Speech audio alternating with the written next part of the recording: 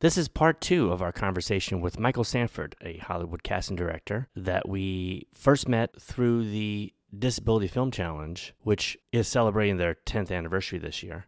He cast Liam in the Lena Dunham movie Sharp Stick.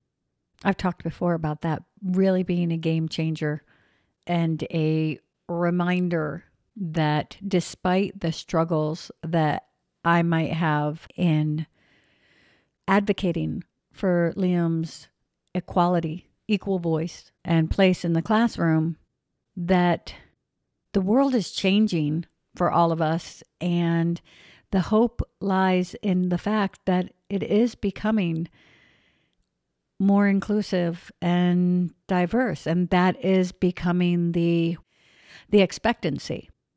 We also discuss how media changes the picture that is painted.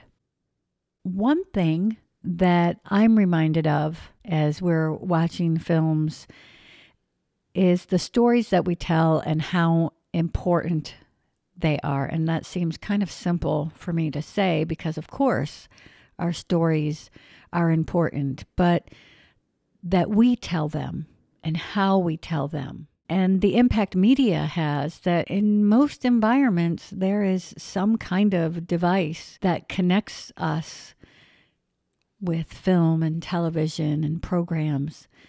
And those programs have the power to change the narrative. So, as we talk about stories and the importance of telling our stories, the impact that those stories have on broadening the minds of people that may not be exposed to certain experiences, we'll include a link to the Disability Film Challenge registration and how you can participate in April.